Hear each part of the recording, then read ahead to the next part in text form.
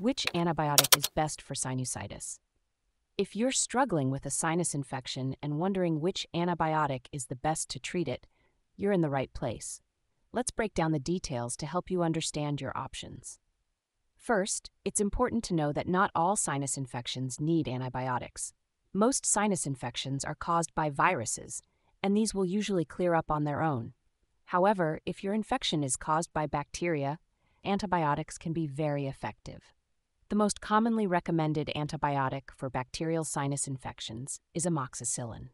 This is a broad spectrum penicillin like drug that works by eliminating bacteria and preventing their spread to other parts of your body. It's often the first choice because it's effective and generally well tolerated.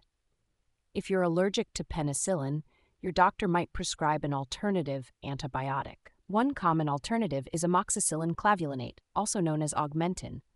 This combination includes clavulanate, which helps prevent bacteria from destroying the amoxicillin, making it more effective against bacteria that are resistant to amoxicillin alone.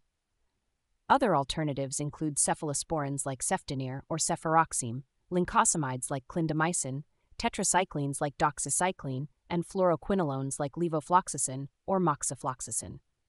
However, fluoroquinolones are usually considered a last resort due to their potential side effects and the risk of antibiotic resistance. You might have heard of Z-Paks, which contain azithromycin, but these are not recommended for sinus infections. Azithromycin can lead to antibiotic resistance, and clinical guidelines suggest using amoxicillin instead. When you're prescribed antibiotics for a sinus infection, you typically take them for 10 to 14 days. You should start to feel better after about a week, with symptoms like fever, stuffy nose, and headache reducing. It's also important to note that antibiotics should only be used when necessary.